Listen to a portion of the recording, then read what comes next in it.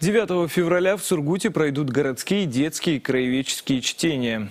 Первое подобное мероприятие состоялось в прошлом году. Заявок было более 40.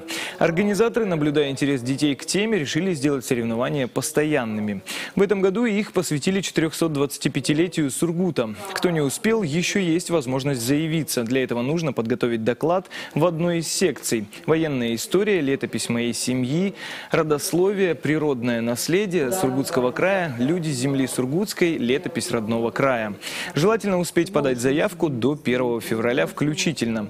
Организаторы отмечают, что по количеству детей, приходивших в Дом краеведа за консультацией, видно, участники настроены серьезно.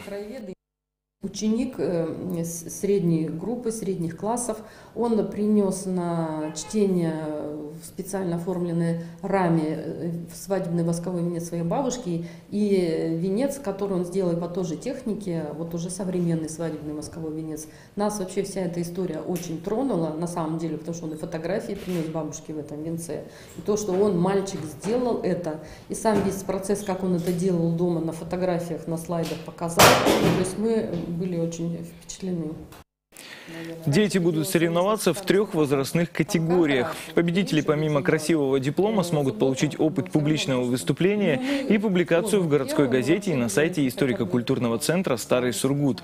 Регионального этапа у краеведческих чтений нет, но организаторы подскажут победителям, как заявиться на аналогичный тюменский конкурс и попытать счастье там. Чем смогут, помогут.